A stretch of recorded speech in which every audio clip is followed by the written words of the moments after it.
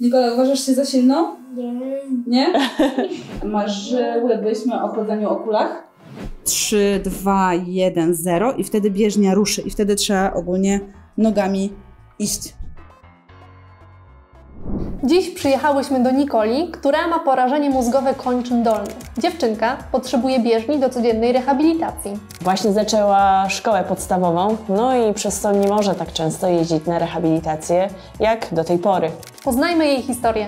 Jak to się stało, że w ogóle trafiłyście panie do naszej fundacji? Spotykamy się na różnego rodzaju imprezach, spotkaniach, wykładach i jeden właśnie z rodziców wspomniał o Państwa fundacji. Nie tracąc czasu, jakby odezwaliśmy się od razu z prośbą o wsparcie i pomoc.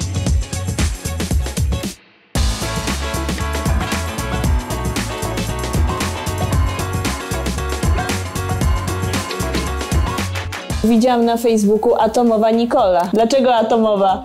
Bo wcześniej nie było tyle radości i uśmiechu na naszej drodze. Ze względu na to, że początek Nikoli życia opiewał e, płacz, ból, krzyk e, i, i nie pamiętamy tego czasu nazbyt e, pozytywnie.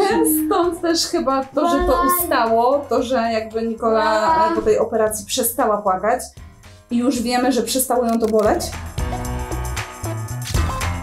Jak ty się poruszasz, Nikola, w szkole po prostu? Idę nóżkę i chodź Idzie na nóżkach, w chodziku, a jak się nóżki zmęczą, to co? w. Na wózku.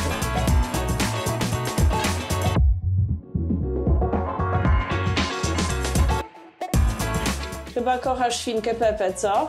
Nie. Nie? Nikola kochała świnkę Pepe, miała wszystko, natomiast to już jest pieśń przeszłości, bo od szkoły Nikola powiedziała, że to już jest koniec Pepy.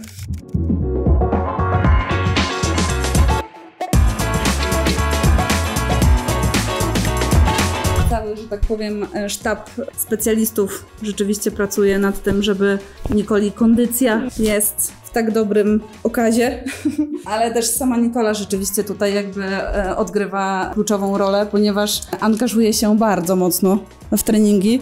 Jeżeli rzeczywiście ma zalecenie chodzenia na bieżni, to będzie na niej chodziła i będzie jej to sprawiało radość.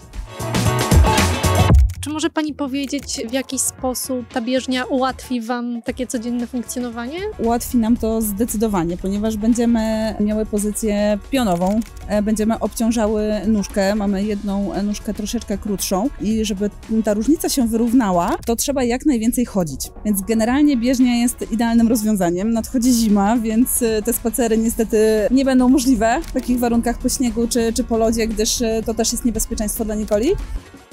Wybór, który padł na konkretną bieżnię, jest spowodowany również tym, że jest ona rekomendowana dla e, dzieciaków z mózgowym porażeniem dziecięcym, a dodatkowo ma jakiś e, program, który ma zbliżyć ją do e, tego celu, żeby wydłużyć ten krok, żeby na przykład wydłużyć długość tego chodu, żeby te nóżki się męczyły później. Jakie rezultaty może przynieść chodzenie na bieżni w tym najbardziej optymistycznym wariancie? Marzyłybyśmy o chodzeniu o kulach oraz liczyłybyśmy na poruszanie się samodzielne w takich pomieszczeniach właśnie jak e, dom, które są dla niej znane.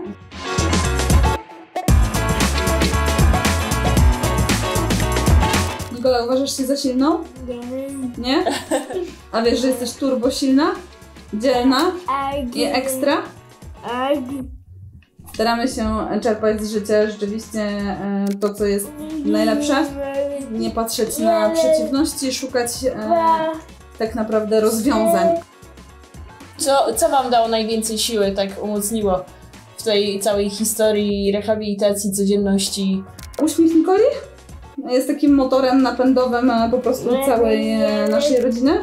E, Rzeczywiście, jak wstajemy z dobrym humorem, e, wstajemy z tym uśmiechem, e, który nam towarzyszy, to naprawdę te dni rzeczywiście mijają e, zdecydowanie łatwiej. Lubisz grać z mamą? W planszówki? Agi. Lubisz grać w piłkę? Nie. Nie lubisz?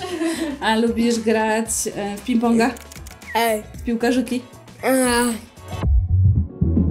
Doświadczyliśmy dzisiaj wyjątkowego popołudnia. Byliśmy z atomową Nikolą, która zarażała nas swoją radością.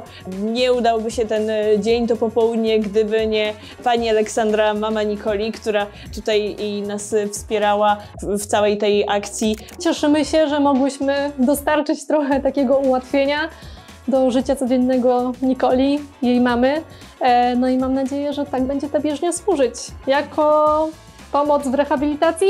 Tak, dzisiaj zobaczyliście, jak wasze kryptowaluty i też złotówki przekute zostały w prawdziwy, fizyczny przedmiot, w coś, co dało radość i poprawiło komfort kolejnej rodzinie. Dziękujemy.